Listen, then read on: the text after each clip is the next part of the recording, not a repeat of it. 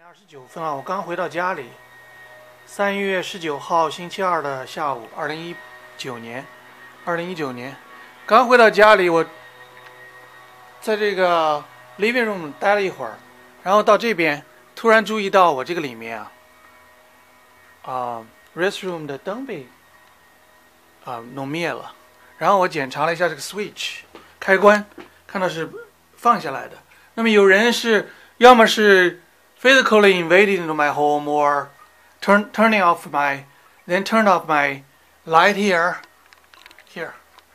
Or they use remote means to turn off my light here.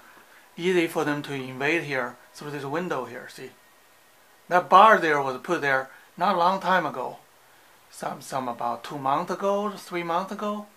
Before then it was invaded all the time. And this this window is a very easy entry entrance for home invaders when i left my home. It happened so many times in my home. Almost got invaded every day. See, I just turned it on. So it was like this, just like what I recorded in the early section of this section of video here. 2019 March 19th, Tuesday afternoon. Uh, 2019 March 19th. I thought I, I, I didn't, I left my, um,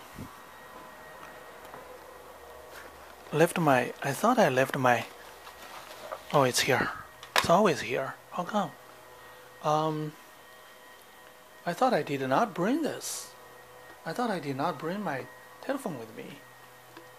So could it be like, uh, somebody got into my home, stolen my, um, I don't know, my telephone, probably not, and put it into my backpack when I was buying food in the food court in Cordova Mall just now. I just came back. There's there's still some food there in my car. I mean, I don't have to improve, improve it. I went to Charlie's.